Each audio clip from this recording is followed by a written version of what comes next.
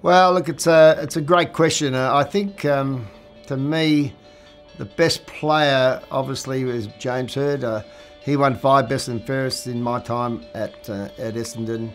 Uh, he was a magnificent player. He, he, overcome a lot of injuries. He had a lot of courageous uh, comebacks in regard to when he had his uh, face and head fractured in five, six places. for him to come back and play the, the career that he had and, and win best and fairest after that. Um, the genius of a player, understood the game well in advance of where the game was. Uh, so from that point of view, I'd say that James Hird um, easily.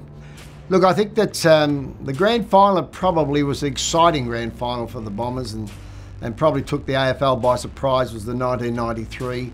It, um, it was never expected to be a premiership year and uh, that just jumped out of the blue on everybody.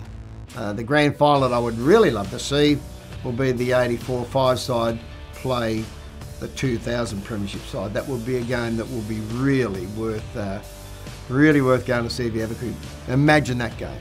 They were both great sides. Discover more untold stories at rarestories.com.au.